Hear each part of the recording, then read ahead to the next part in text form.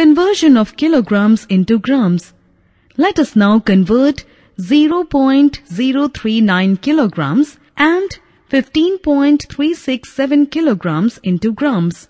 We know that 1 kilogram is equal to 1000 grams. So, to convert 0.039 kilograms into grams, we multiply it with 1000. Thus, 0.039 kilograms are equal to 39 grams.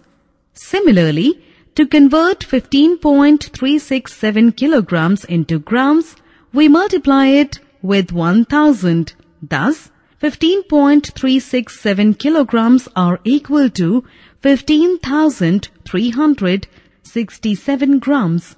Convert 3.952 kilograms into kilograms and grams.